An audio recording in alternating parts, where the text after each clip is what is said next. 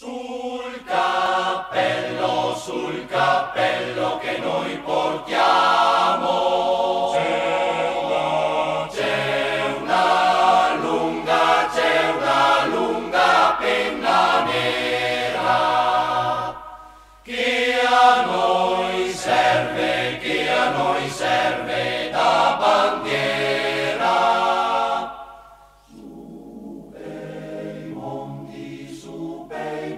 tutti a guerreggiare.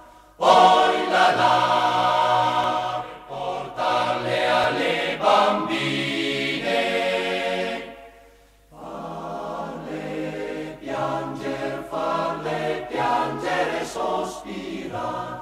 Poi la la,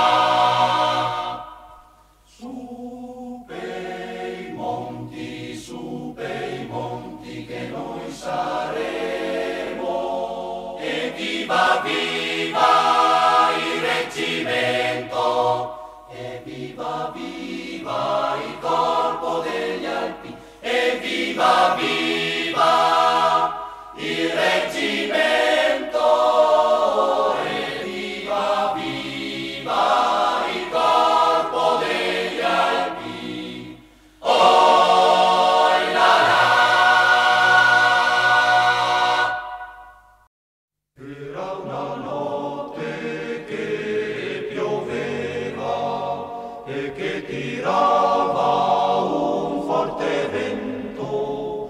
Immaginatevi che grande tormento per un alpino che sta a vegliare. Immaginatevi che grande tormento per un alpino che sta.